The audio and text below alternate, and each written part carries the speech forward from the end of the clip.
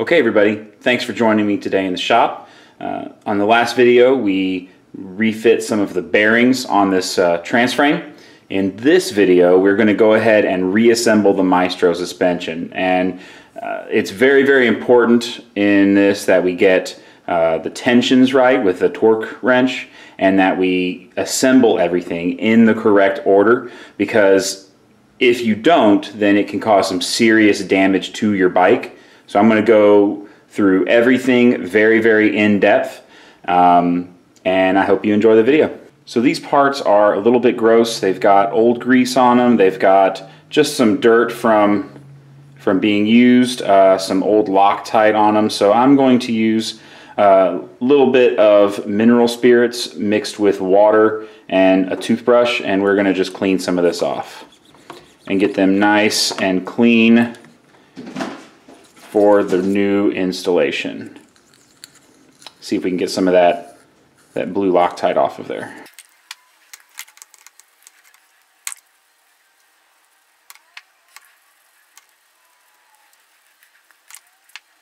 A few moments later. Before we go any further, this Maestro suspension system comes with a lot of these little spacers and there's a few different types. This particular one it goes on the bottom of the shock.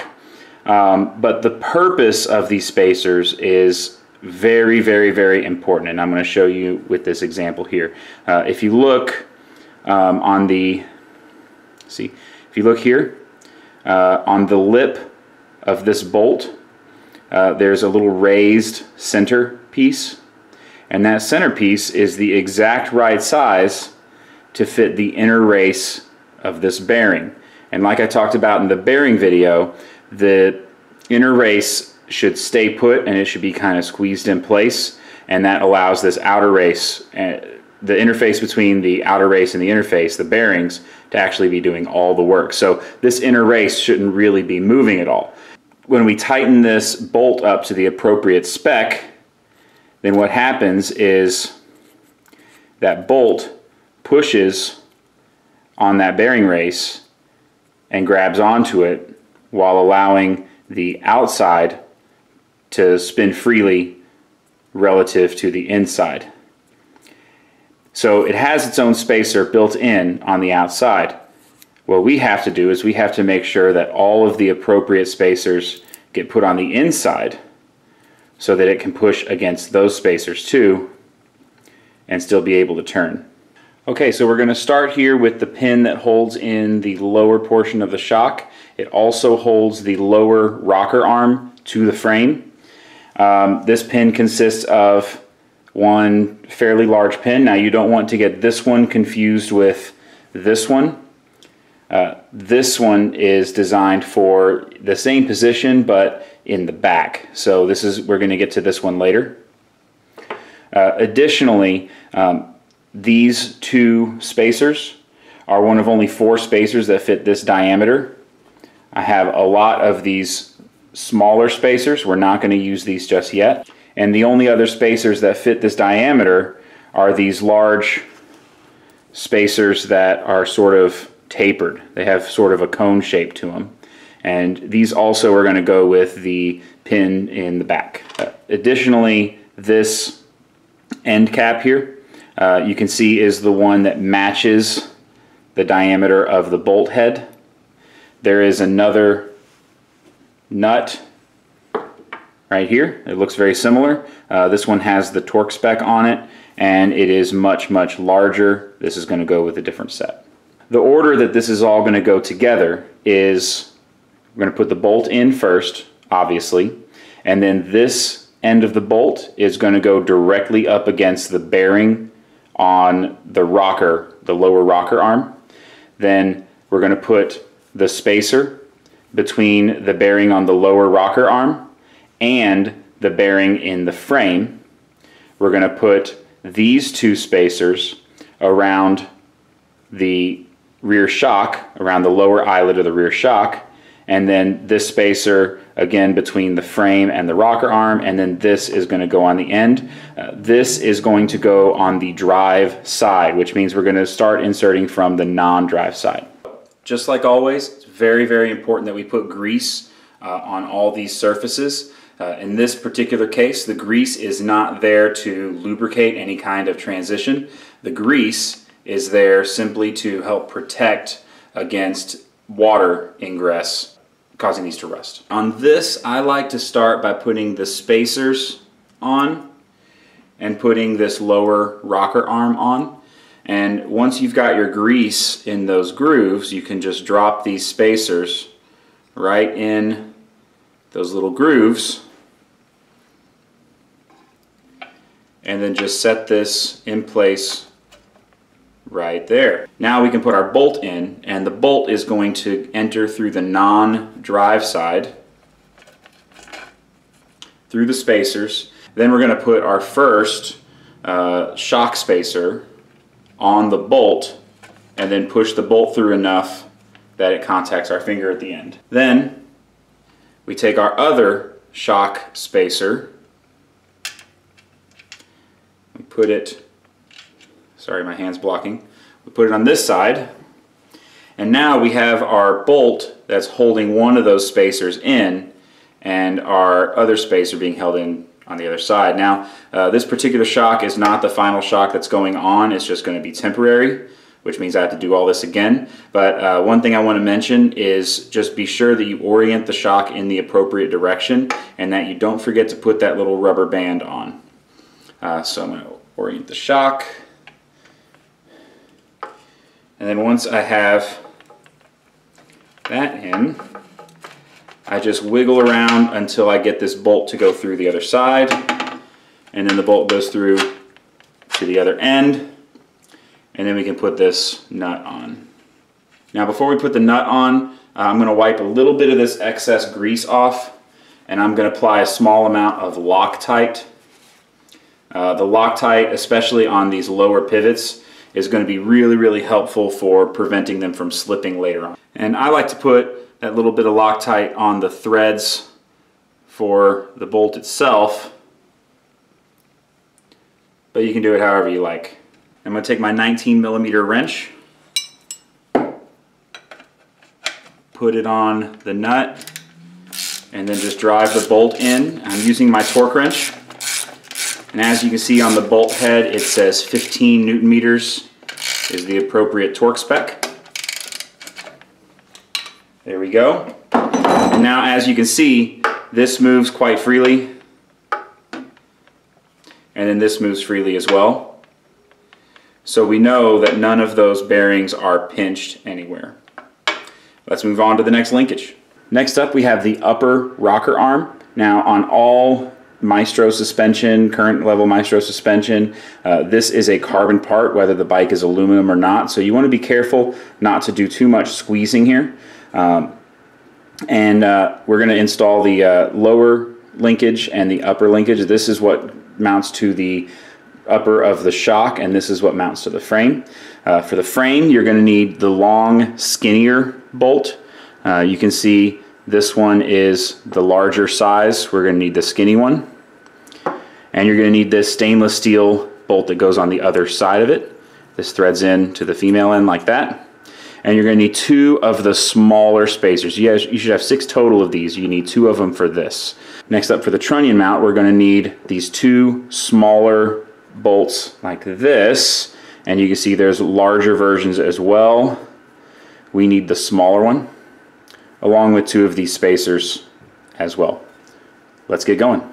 Next up we have the upper rocker arm. On the upper rocker arm we install um, the bearing spacers against this portion right here because the outside where the bolt is doesn't require a spacer.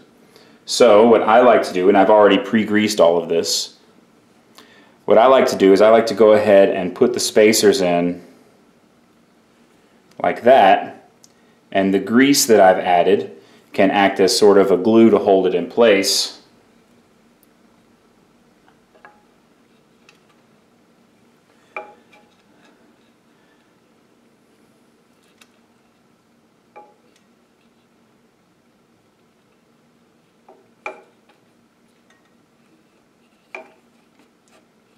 And as you do this, just pay close attention to the location of those spacers and make sure they don't get pushed out of their spot.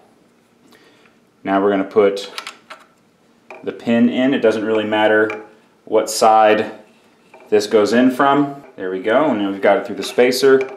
Get it through the frame, through the spacer on the other side. And when you get to the spacer on the other side, you can use a wrench to kind of work that spacer around until it finds where it needs to go. And then once that's through all the way to the other side, we thread in the stainless bolt and then we hold on to the stainless bolt. So I'm holding on to this end with a 4 millimeter Allen key and on this end I'm just using my torque wrench. We're going to torque this to the recommended 11 newton meters. A super, super common mistake on these Maestro suspension systems is to leave the spacer out on this upper piece. I strongly, strongly recommend that you pay close attention and you make sure you get this right because if you don't put those spacers in there, the bike is going to feel terrible to ride and it's probably going to break this in half. Just like before, what I like to do is I like to put the spacers in. And you see we're going to put the spacers on the inside of this bearing. Uh, so the bearing is going to go in between the upper part of this trunnion mount and the inner part of the bearing. And just like before, you want to pay close attention to make sure that your, uh, your, your spacers get in there correctly.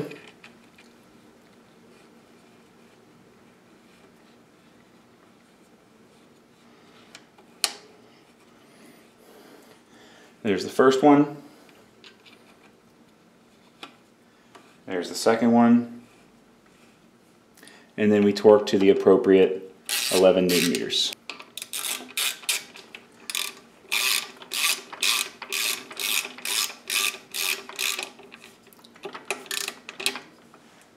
Next up we're going to do the lower portion of the rear swing arm. This is going to require the last of these larger bolts. You can see this one is distinct because it has a much larger head on the bolt and it's got this uh, skinny part in the middle. Um, the spacers that we're going to use on these are those larger sized tapered spacers and uh, and then we have our uh, um, nut here.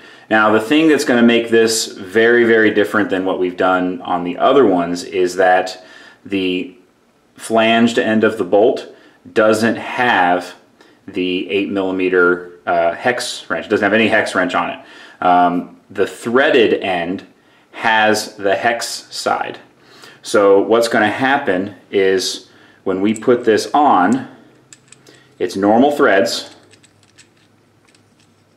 but when we put this on the bike, we're going to have to imagine turning this way, which is almost like unscrewing to, and holding this in place. So if you think about it, we're unscrewing this 8 millimeter bolt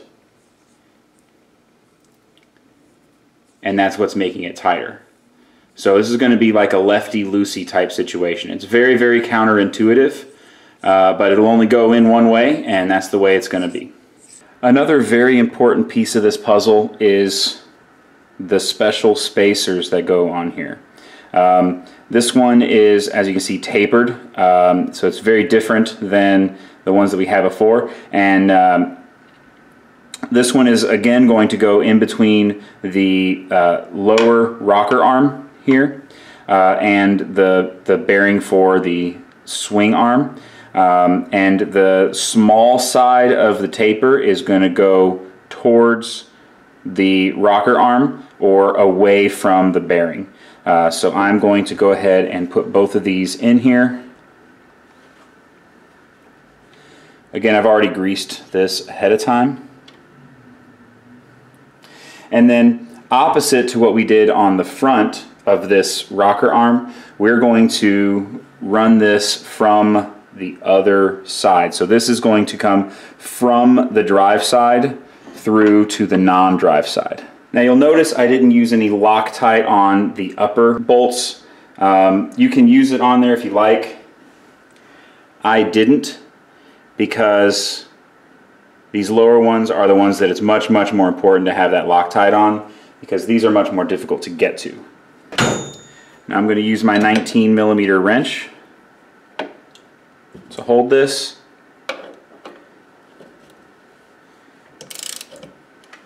And as you can see, I'm turning this as if I was loosening it, but really we are tightening it up. And that seems to be moving very, very well. On to the last pivot. Okay, last but not least, the upper swing arm attached to the upper rocker arm. Um, for this one, uh, we're again going to use these small spacers that we had six of.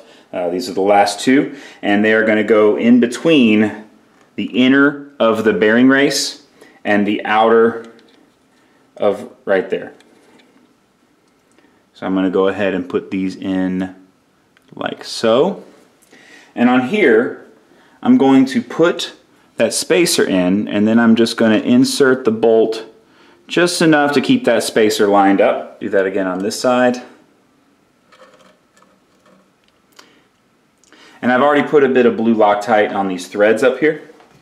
Um, on pre-2017 models, uh, these upper rocker arms had the flange of the bolt on the inside of the frame and they worked very similar to the last bearing that we did where you have to sort of unscrew them into place. Uh, but on 2017 and up models on this newest range of Maestro, uh, it works pretty normally.